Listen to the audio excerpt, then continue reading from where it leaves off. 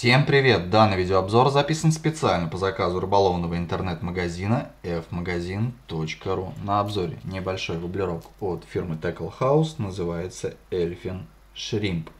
Данный воблерок в размере 45 мм, плавучесть на сайте указана как тонущая, но у меня воблерок оказался суспендер и заглубление указывает производитель от 1,5 до 2 метров. Вес данного воблера 3,4 грамма.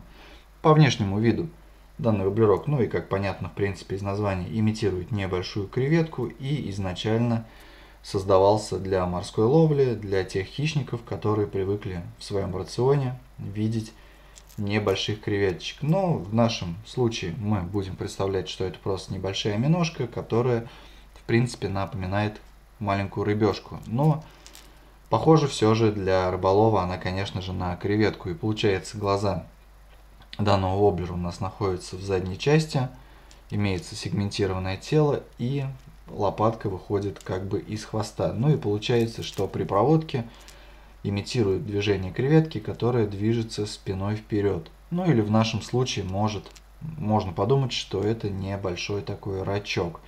Но по сути это не так важно, так как в принципе важна игра данной приманки.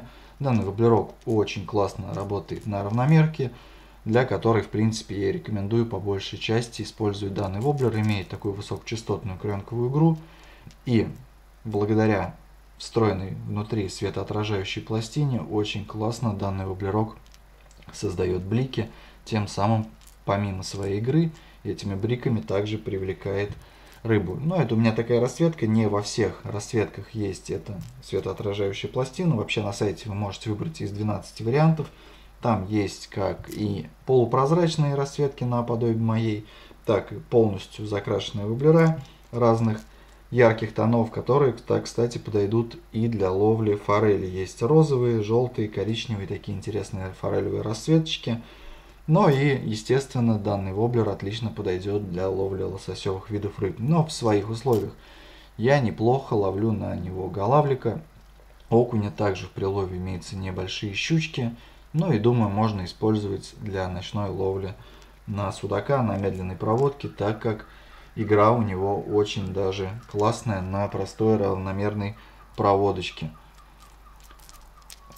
Оснащен данный воблерок двумя небольшими крючочками из светлой проволоки. Крючки маленькие и очень острые. Крепятся они через заводные колечки, тоже небольшие, заводные кольца, очень качественные петли на данном воблерке, неплохо так пролиты. Лопатка у данного воблерка очень такая толстая, плотная и долго будет сохраняться на вашем воблерке. Разбить ее будет очень даже тяжело при касании об дно. Здесь все сделано в этом плане очень основательно. Интересный воблерок. Стоит, конечно, довольно-таки немалых денег, но это Япония. Здесь очень так все сделано качественно.